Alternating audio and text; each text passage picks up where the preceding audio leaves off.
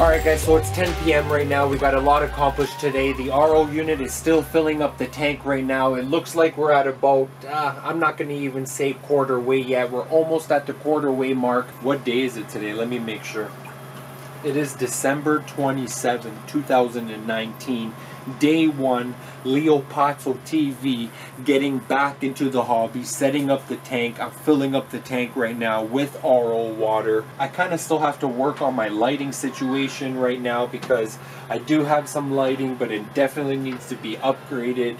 I know I still have some electrical work to do still. I got to finish completing my auto top off here, the gravity fill auto top off. I did prepare some uh, rubble live rock that I'm going to be putting into my sump filtration. I'm calling it live rock, but it's actually dry rock or should I call it wet rock right now because I just kind of wetted and rinsed it. But it is not live rock because there is no beneficial bacteria on this rubble rock here. So I'm going to show you it. It's small little pieces. The water is going to be flowing through this live rock and it's going to be basically filtering through this rubble live rock through my first chamber and then onto my second chamber which is going to be my skimmer. But let me give you a look of the size pieces that I'm going to be using. Okay so here's the uh, rubble live rock that we have right here. It's pretty much like a full bucket. It's like a, a pretty much a five gallon bucket completely full of all this little rubble live rock here that looks like it's uh, nice different sizes. I even have like a little shell. So I put the smaller super smaller pieces here that I came across. I didn't really pluck through this but like there's an example I can put a smaller piece there. I want these smaller pieces towards the bottom right?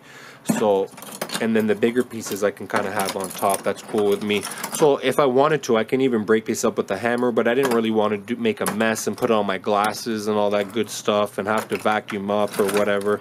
So I figured I'll just kind of pick through the smaller pieces and put those ones towards the bottom and that's where I'm talking about right there. So I'll make one layer there of this smaller kind of stuff right all the way towards the bottom because the water needs to travel through this bottom piece of glass right there.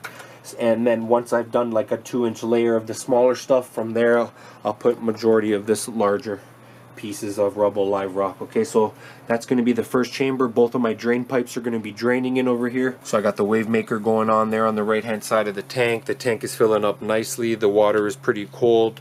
We got the heater inside there trying to warm it up. We have the heater set to uh, 81 degrees Good morning guys, Leopazzo TV, thanks very much for tuning in. We're still setting up the 125 gallon tank and today we actually ran into some issues. As I was filling up the tank yesterday with RO water, I wanted to fill up the overflow boxes approximately halfway to kind of test out the, any leaks within the bulkheads or just in general. When the tank is filling up with water, I also like to fill up the overflow box with the same amount of water within the tank because I don't want to create any pressure between the overflow box the tank kind of pushing up against it with all that water volume. So that's definitely something to consider when you're filling up your tank. You want to fill up your overflow box along with your tank at the same level as it fills up okay and as I did that I put some water inside my overflow box here. I noticed at the bottom of my tank both of my return lines the return lines coming from my pump are leaking. The bulkheads they're dripping down here into the sump. And go figure it is so awkward down here underneath the sump filtration and the stand to try to access it. Let me give you an idea. So that's what I'm looking at right there.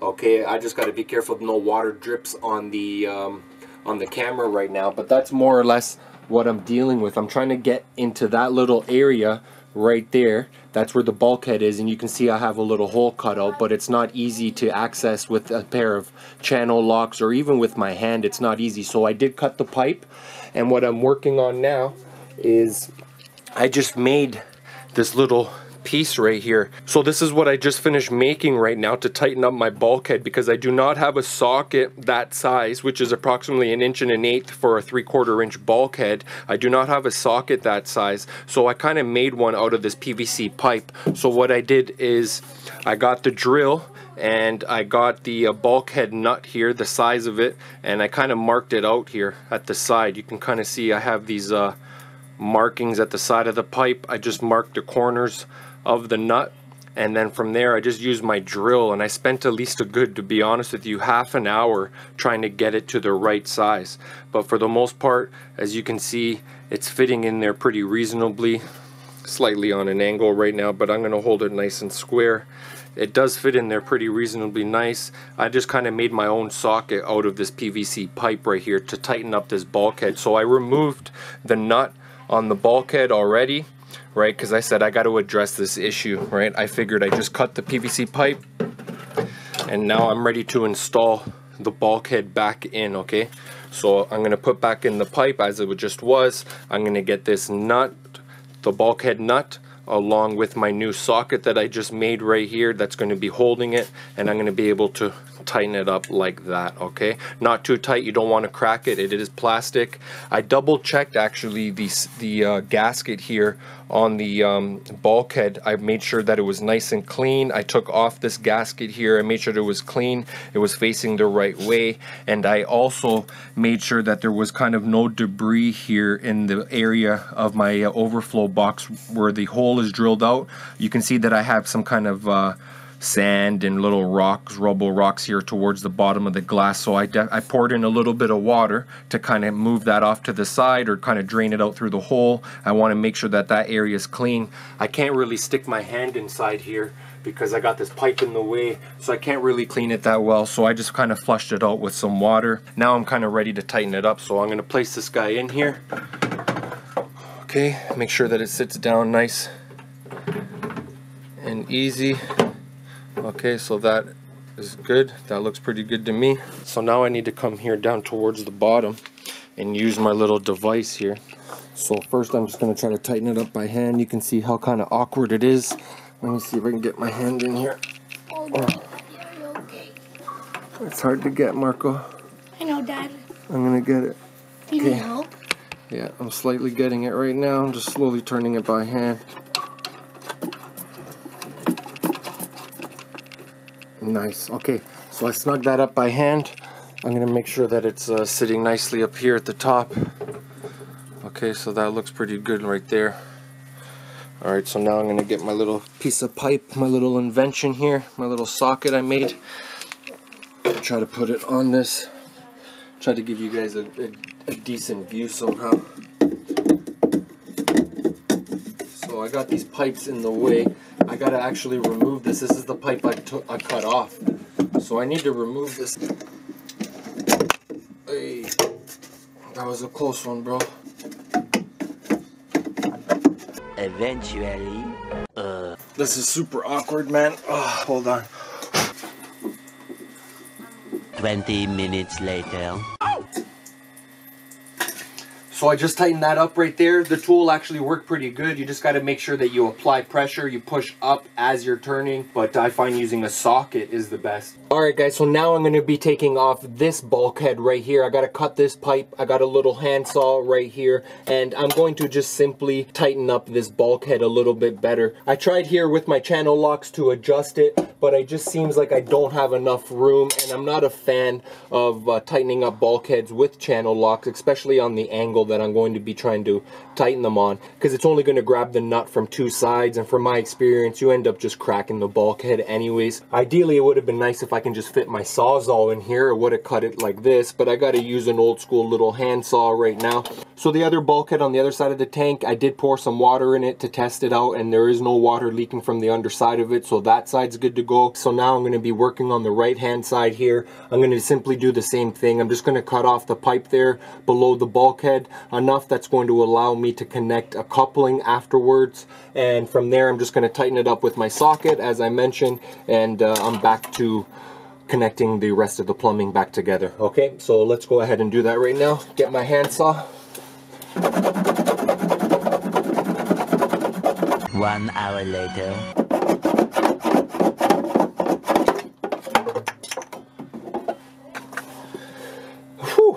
Hey, didn't say this was going to be easy. I'm sweating up a bit here.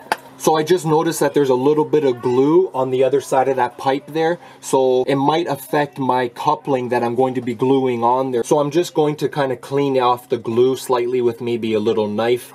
just kind of uh, clean up the area there make sure there's no old glue where I plan to be installing glue and a PVC pipe I'm gonna go ahead and tighten this up got my little pipe got my little socket here A few moments later.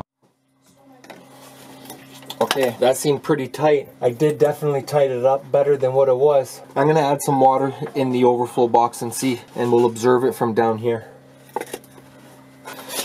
So there's actually some water already inside the overflow box, so if it's not leaking now, it's not gonna leak. I definitely snugged it up quite a bit. This little PVC socket here that I made works pretty well. Let me give it one final crank. Okay, I think that's it. All right, cool. This part's done. Now we can connect the rest of our plumbing and go from there. Okay guys, so I just got back from the hardware store. I went to go pick up some metal strapping as I want to support some of the uh, plumbing right here, the PVC plumbing. I'm going to put a strap right here and I'm going to loosen off the one I have here in the middle because it's not exactly lining up where I need it to land now that I've changed a little bit of the plumbing. So I'm going to loosen up this one right here. Uh, once I've loosened up that and I have this supported, I'll be able to tilt the plumbing here onto the one hand side and then from there I'm going to glue on my PVC coupling right here. This is a three quarter inch PVC coupling and I'm going to connect the plumbing onto this side. Once I have it connected here and supported over here, I'm going to go ahead and install a middle brace in the middle of the pipe as well. So on the right hand side of my tank for the return pump, as you saw, we did cut it off there as well and we did tighten up the bulkhead. I'm going to install a coupling, a three quarter inch coupling, and then I'm going to install this union ball valve right here, which is going to allow me to control the flow of the water coming from my return pump onto the right hand side.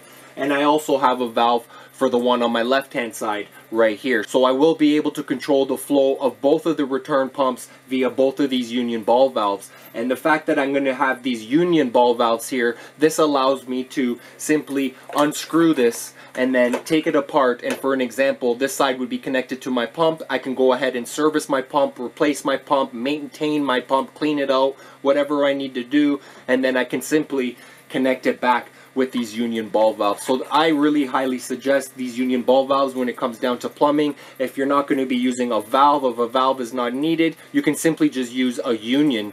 And a union is the same idea, just excluding the valve. You will not have a valve and it's just two pieces of plumbing that will simply screw together and will allow you to take apart the plumbing conveniently. Let's go ahead and do that right now. I'm going to install the strap right here. I have my snips, so let's go ahead and open up this packaging. I don't need very much. Let's just say a couple of inches. I'll cut off whatever access I don't need. I got a couple of drywall screws.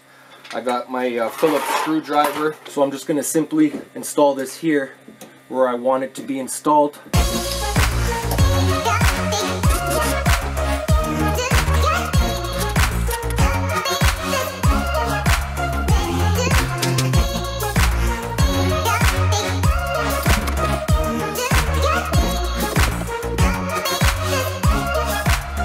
Alright guys, so I'm back here onto the right side of the tank. I'm ready to install this coupling along with this valve underneath here on the return line. So I have my PVC glue all ready to go. Uh, let me know what you, I'm curious to know what you guys use. Do you guys use like a PVC primer? Have you guys been using just the glue like me or have you guys been using the primer? Curious to know. Many people have uh, different opinions on that. So I've installed this end. Now I'll install up at the top. Definitely don't want to get any of this in your eyes. So when you're working with something like this, it might be a good idea to put some gloves on. Perfect. So that's good to go. So it looks like the plumbing is all done for the most part. You can see I installed the brace on this side over here onto this plumbing coming from this return pump, the submergible pump. It comes along here with the valve. We got this valve here that we can control it with and then it goes up over there up towards the bottom of the tank okay and then there we have the two drains I still undecided am I going to install a refugium here I used to have a refugium here off to the side this drain was teed off here and I can control to drop water into the refugium and then from the refugium it would just drop back inside the sump. But it was such a small little like 5 10 gallon tank I don't really think it's that efficient. If I really gonna do a refugium on this system I need something a little bit bigger. So I may do something like that in the future with like a Rubbermaid container or some kind of uh, simple you know larger reservoir tank or whatnot. So I think right now for refugium we'll just use this uh, this just chamber right here but we're still a long way from that so one thing at a time. The tank process it looks like it is officially the halfway mark so that's good news halfway of filling the tank we still got to uh, fill up these overflow boxes now. So this is exactly what I was saying. I do not want to leave these overflow boxes empty with all the water surrounding it. You might actually cave in this overflow box. So we want to start actually putting some water in the overflow box and match the same line in the tank. So we'll be doing that with both of these. I'm going to actually do that right now.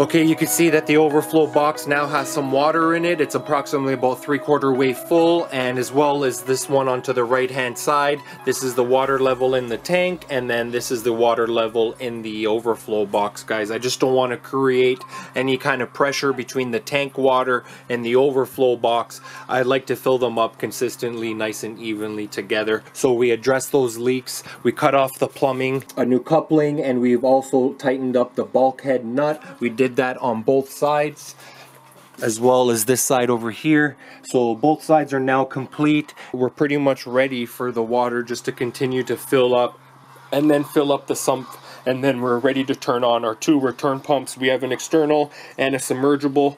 I cranked up the heater inside the tank because we keep on constantly giving the tank cold water from the RO unit. So I just kind of turned up the heater all the way to max and then from there once the tank is full we'll turn it down to the appropriate setting. When you thought it can only get better it actually gets worse. What happened now is when I filled the overflow box as I just showed you guys the one on my right hand side here now guess what